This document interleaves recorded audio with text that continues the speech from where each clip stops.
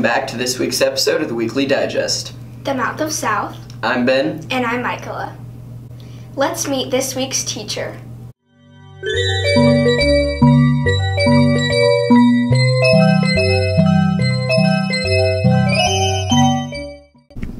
Hi, I'm Mrs. Payne, and I teach 8th grade cooking, 8th grade sewing, and 6th and 7th grade facts.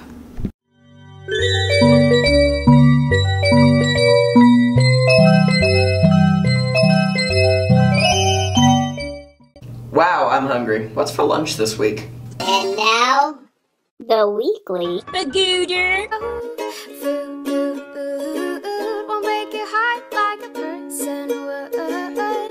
Hoagies and grinders, hoagies and grinders, navy beans, navy beans, meatloaf sandwich, sloppy joe, slop, sloppy joe, sloppy joe, slop, sloppy joe, come on, sloppy joe, slop, sloppy joe, you da, sloppy joe. Now, let's go find a new kid in town. Well, South Middle School, actually.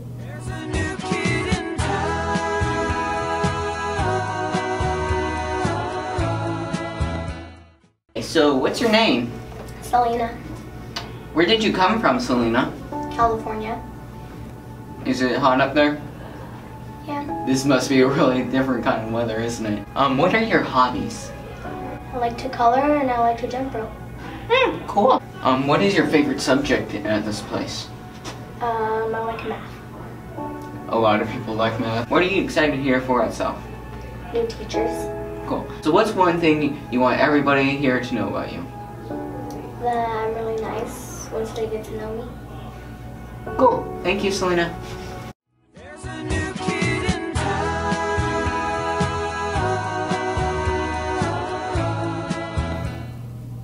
Now to Dr. G with this week's Principal's Minute.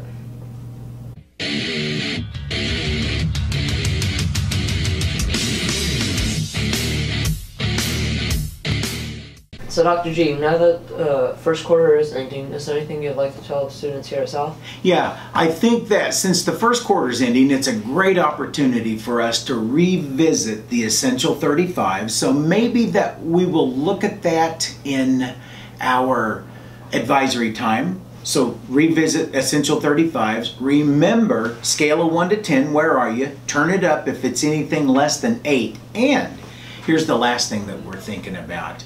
Uh, we're beginning this idea that maybe some kids need to work on some fundamental skills at, at South Middle School. Not all kids, but some kids may need to to uh, shore up some fundamental skills, if you will. Fundamental skills, I'm, when I say fundamental skills, here's what I'm talking about.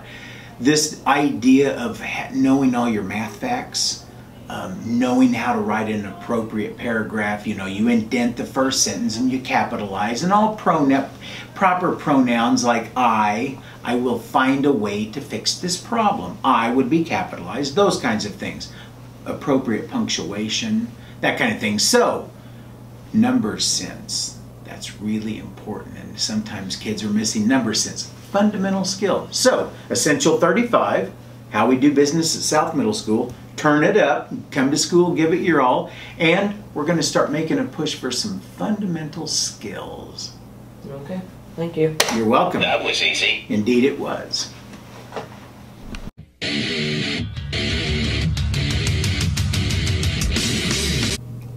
Now some skits from Pack to show us the polite way to turn it up.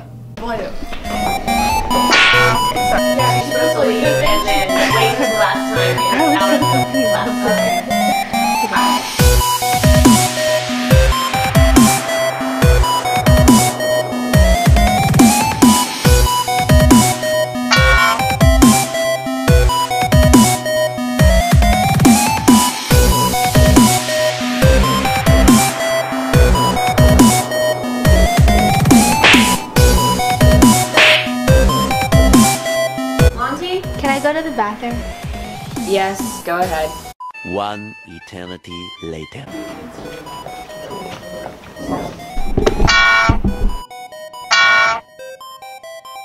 Ella? I forgot my homework again. It's my bad. Bring it in tomorrow, but it will be counted late.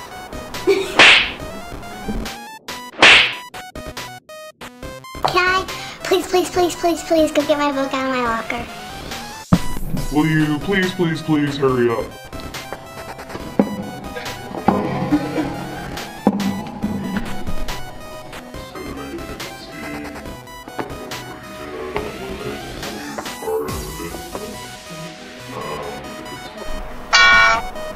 Angelina. Um, I uh, forgot my book in my locker and my dog ate my homework. Ah, double whammy. You're gonna have to get your missing work and go to your locker. Maybe a lot of editing. Alright, so, uh, Okay, if your homework is ready, go ahead and turn it into the tray.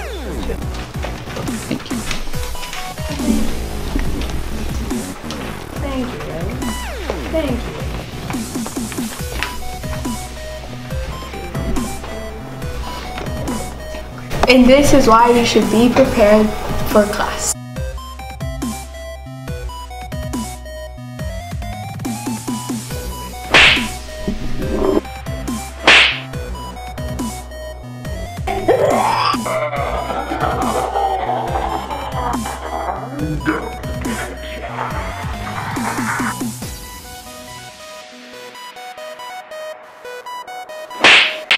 on to Mr. Stat's words of wisdom. Don't you have some words of wisdom for us yourself, Michaela? I do. My words of wisdom for this week are When the world says give up, hope whispers, try it one more time.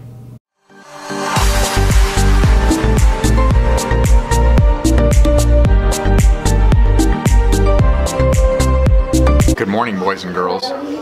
My advice today is ask somebody to pick up your mail and newspaper when you're gone out of town. That is the, something that potential burglars will look for. So remember that and have a nice day. Thank you. If you like dank memes, then you'll like this week's meme moment.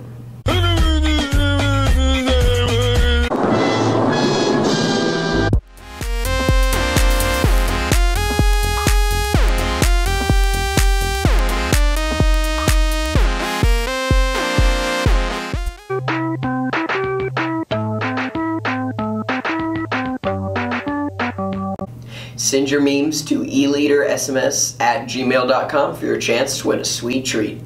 Here's this week's questions from the hallway.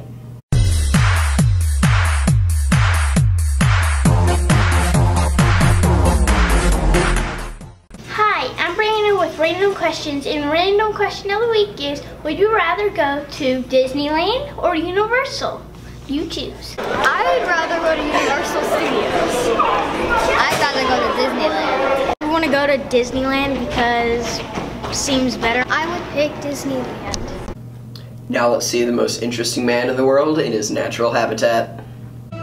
He is the most interesting man in the world. Greetings, my friends. You know, as the world's most interesting man, many people have come to me recently asking me why Mr. Morgan is suddenly wearing a tie every day. I talked to Mr. Morgan about this, and Mr. Morgan informed me he's thinking about running for president. I think we should all support Mr. Morgan in this effort. When you go to the polls, ask for the ballot for the Knucklehead Party. Stay healthy. Say, can you see by the dawn's early light? Here's this week's random fact.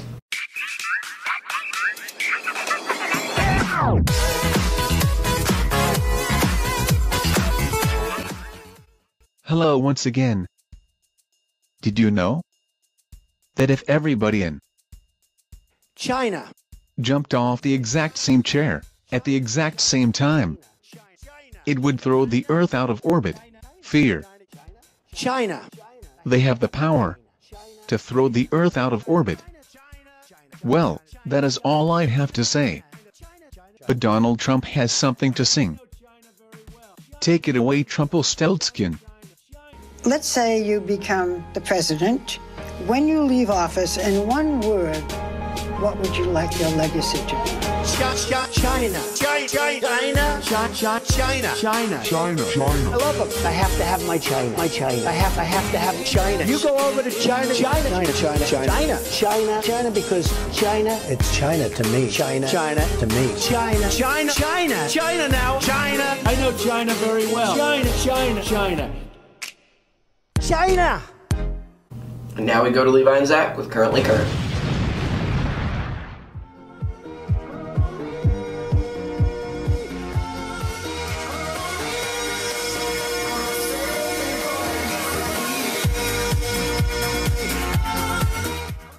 Hello. Hello. Hello. Hello. Hello. Hello. Hello. And welcome back to mm. Karen the Karen. He's Levi. He's Levi. What are we doing with our lives? I don't know. Yeah, I, I, This, obviously. oh yeah. You have nothing better to do. The person who found the ducky Except was. school. The person who found the ducky was. Drum roll, please.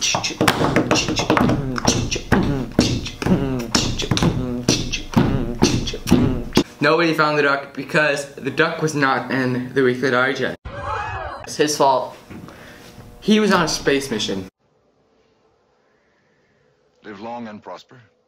But whoever the cheese gamer is, literally, mm-hmm. the cheese gamer, please report to Mr. Morgan's room 806 for your prize because of your comment on Our our video. last vid- video. For those of you who are wondering what that comment is, it was, I'm the Lorax, and I speak for the Clorox. And the Clorox says to all dirtbags, drink me. Roll clip. I'm, I'm the Lorax. Guardian of. Clorox. I speak for the. Clorox bleach.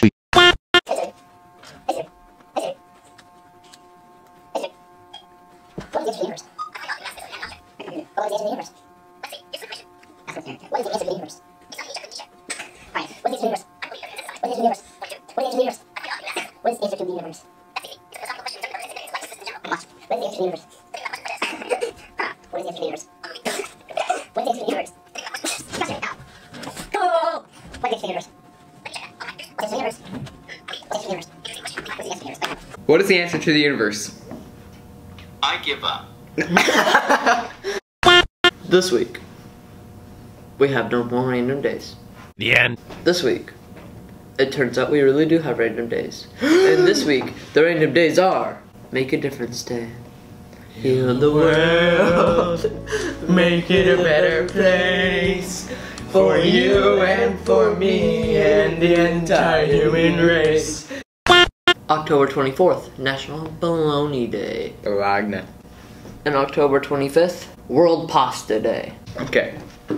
The official Defenders teaser trailer and the Daredevil Season 3 teaser trailers have been released. The Defenders one plays Nirvana's Come As You Are in the backyard, background and has a man named Stick saying, You think you can save this city? You can't even save yourself. No, you can't. The Daredevil Season 3 trailer shows a subway sign that says Shut Hell's up, Kitchen. Stick. That says Hell's Kitchen. Then the lights flash and you hear sounds of brutal beat beatdown. And then you see blood on that sign. Defenders is coming in 17, 2017 and Daredevil Season 3 will be coming out in 2018. And they are only available on Netflix. In other news, Daredevil Season 1 is now available on Blu-ray. Netflix. Your turn. Oh. The race for Mars is on. Oh Gosh.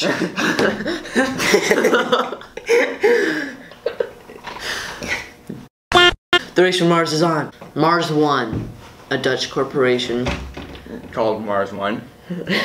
recently announced their plans to have to start a colony on the moon. Or on Mars. Not the moon. The moon isn't Mars. On Mars. Why don't they start a colony on the moon first? On by 2027. Because we know there's water on Mars. That's 11 years from now.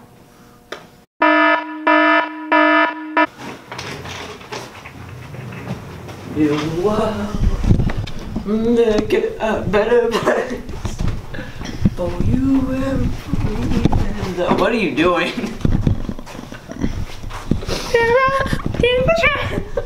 Man, there's no need to feel down. I said, young man, pick yourself off the ground. I said, young man, cause you're in a new town. There's no need to be unhappy, young man. There's a place you can go. I said, young man, when you're sure know you can stay there. And I'm sure you will find many ways to have a good time. Clorox bleach.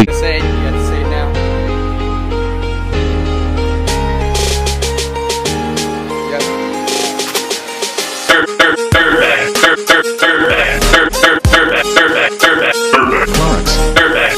Clorox. Clorox. Guardian it. Clorox. Clorox. Clorox. Clorox. Guardian it. Clorox.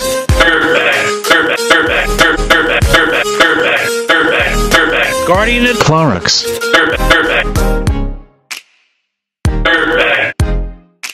Guardian it. Clorox. And now, the selfie second. If you would like to be a part of the selfie second, hashtag your selfies of you and your friends with hashtag SMS selfie second on Instagram or email them to us at eleadersms at gmail.com.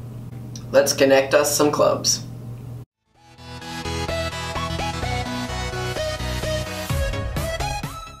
Oh, Mr. Stat, what is your club? I have a chess club on Tuesday nights. So, what do you exactly do? We teach people how to play chess that don't know how to play chess, and if they're a more advanced player, then we have them play against somebody else who's of equal skill. Is there many of those people? We usually have about 10 to 12 people that show up every week, so, but we hope we- we have room for more, so we hope you can join us.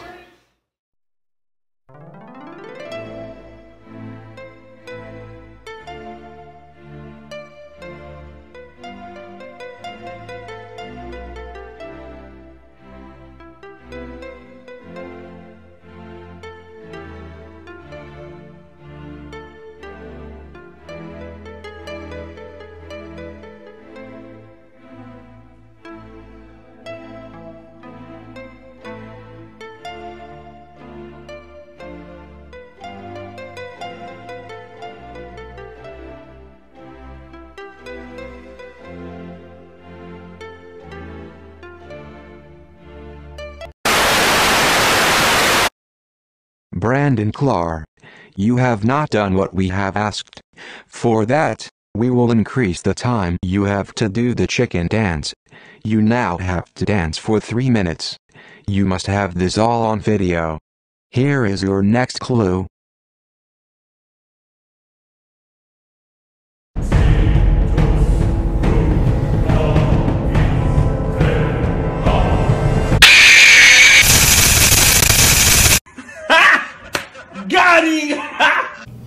See what's on the calendar. There's a choir concert on Monday, October 17th, 6 to 7 p.m. Tuesday, October 18th, 7th and 8th grade A team will play versus Pittsburgh at home. Tomorrow. We don't have school. Now it's time to know your role.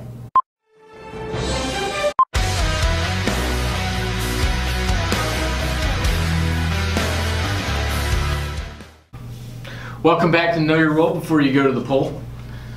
Today we start with uh, Ms. Cox's advisory. She took the time to answer our questions from the last episode um, and look into more information to give us all a better understanding of the electors and their roles. Watch this. Choosing each state's electors is a two-part process. The first part of this process is controlled by the political parties in each state. They either nominate slates of potential electors at the state party convention. Or they are chosen by a vote in the state community's party. Political parties often choose electors to recognize their dedication and service to, the, to that political party. They may be elected state officials or people in the states who have political or personal relationships with the parties or presidential candidates. The second part of the process happens on election day. When people vote at the voting booth, they are voting to select their state electors, not the presidential candidates. The winning candidates are then appointed electors, except for Nebraska and Maine, where they do this part differently. There is no federal law that says the electors have to vote for the popular vote.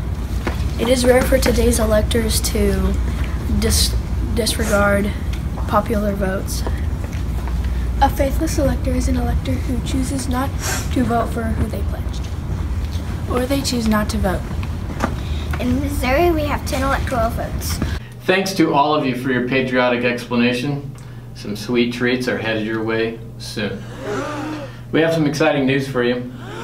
If you hadn't heard yet, we'll be having a mock election here at South Middle School Tuesday, November 1st, one week ahead of the actual election, so that we can see our results and compare them with the real results, but beforehand, so that your results aren't skewed by what you see happen Tuesday, November 8th. With that being said, the ballot on November 8th is going to have many more choices for voters besides just the president, which leads to our topic today. Why should U.S. citizens care much more about those other choices on the ballot? It's not that they shouldn't care about the president, and, and really that's not an issue. If you look at voter turnout during presidential election years versus the off years, there's, there's a much higher percentage. So, Mr. Clark, hmm. why don't you enlighten us on this topic? Give us some clarification on why U.S. citizens should care about these other issues besides just the president and vice president. Well, the the vote for president is important because you're voting for basically the, the figurehead of the country, but the legislative branch I feel is more important, which would be Congress. Wrong. Wrong. That is absolutely wrong. Proved over and over again. Sorry. so you vote for senators and representatives. Now, in this election, 2016, we have one senator up for re-election, and that is Senator Roy Blunt, who's you know been there since 2012. And in 2018, Claire McCaskill will be up for re-election, and we only have two senators because every state gets two senators. On the House of Reps, I believe we have eight representatives. Our representative would be Billy Long. Billy Long. But that it matters voting for that more because what you're voting for are the people that make the laws. The president's job is basically to enforce the laws. Now he can write executive orders, he can go crazy, but the legislative branch is where it matters most. These are the people that affect your lives the most, and this is what you need to pay attention to the most. Okay, let's talk about um, other issues like other things you're going to see on the ballot besides just voting for people. What else are we going to see? You will see amendments to the Missouri State Constitution, probably. You'll see propositions, and those affect your life directly. Usually they involve taxes, or they involve a tax hike or a tax decrease, or they'll vote school board issues, stuff like that. So we're going to take a closer look at those amendments next week. But just so you know, voters can have a bigger impact at the local and the state level than they can at the national or federal level. And why is that? And that's because your vote directly counts. Unlike the presidential election, which is chosen by the Electoral College, all the representatives, the proposed amendments, the senators, they're all voted for and chosen by the popular vote. So we don't have the Electoral College system for these other things. Nope, nothing comes in between you and choosing your senator or Which- your legislator. Which makes it more democratic? It does. All right. It's time for a final question, which comes to us from Ms. Cox's advisory as well. So watch this. Our question for you know your role is who is Uncle Sam and why does he say your vote counts? Who is Uncle Sam? And why does he say your vote counts? I love the question, first of all. That was awesome. Uncle Sam's a pretty interesting piece of U.S. history, political history. To start, his initials, U.S. Yeah, you can figure out what that stands for, Uncle Sam. Um, it's At times, he stands more specifically for the United States government. Um, and because of this, he's a great example of the term personification, communication arts, reading. Without spending hours on the complete history of this interesting character, let's just say that the earliest uh, major reference probably came from the familiar tune 1775 Yankee Doodle during the American Revolution, American history students. Through the 1800s, images emerged from Uncle Sam and some other personifications, but the modern depiction is really from the U.S. military recruiting posters used in both World War I and World War II, where um, Uncle Sam wants you and more specifically the federal government and the U.S. Army wants you to volunteer to help fight in the Army. So, bonus question. Who is Brother Jonathan? Another personification. Prizes are on their way again for Ms. Cox and your advisory. You guys are just knocking out of the park. So, send your questions. We hope you're learning some, some things this week and in the weeks to come about our system of government and your roles as citizens. See you next time. We'll, we'll uh, send you out with some footage from the winners of last week enjoying their sweet treats. Know your role.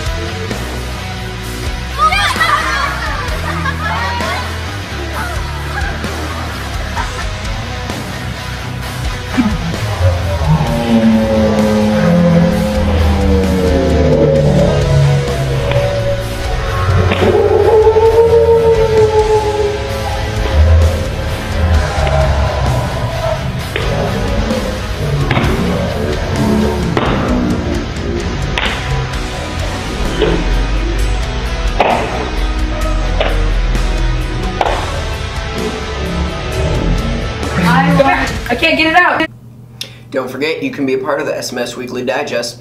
Just send any videos or pictures of your classes turning it up to eleadersms at gmail.com. Would you like to see more projects by the e-leaders? Check out our website at smseleaders.com.